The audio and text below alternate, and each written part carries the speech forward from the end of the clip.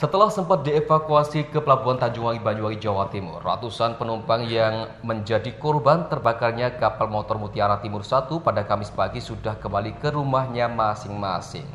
Untuk mengetahui penyebab terjadinya kebakaran ini, petugas masih melakukan penyelidikan dan akan mengevakuasi bangkai kapal ke pelabuhan terdekat. Inilah tiga kapal milik TNI Angkatan Laut yang berhasil mengevakuasi 254 penumpang kapal motor Mutiara Timur 1 yang terbakar di perairan Bali pada Rabu sore kemarin. Ketiga kapal ini adalah KRI Raden Edi Marta Dinata 331 yang berhasil mengevakuasi sebanyak 210 penumpang. Kapal Angkatan Laut Kadet 6 sebanyak 19 penumpang dan kapal Angkatan Laut Kadet 7 yang berhasil membawa 25 penumpang. Seluruh korban selamat ini pada Kamis dini hari berhasil dievakuasi dan sandar di Pelabuhan Tanjung Wangi, Banyuwangi. Mereka langsung mendapat perawatan medis dari tenaga kesehatan yang telah bersiaga di posko yang telah disiapkan oleh TNI Angkatan Laut.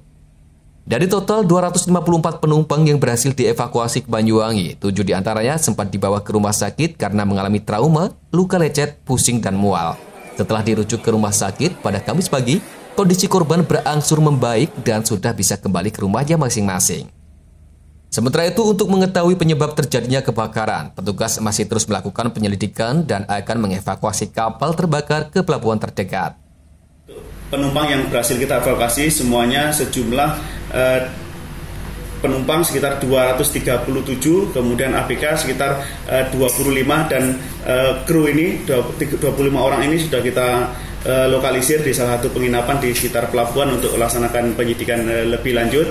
Sementara untuk penumpang yang 237 ini lima orang dirawat di rumah sakit uh, Belambangan, namun kondisinya sudah semakin stabil. Mudah-mudahan dalam waktu dekat sudah bisa kembali keluar. Kemudian yang domisili di Banyuwangi sebagian sudah dijemput oleh keluarganya sementara yang di luar Banyuwangi juga sudah disiapkan uh, penginapan di sekitar pelabuhan Tanjung Wangi. Kemudian ada juga penumpang yang hari ini juga akan melaksanakan perjalanan kembali menuju ke Lembar karena memang dia berdomisili di sana dan sebagian besar juga pekerja di Lembar.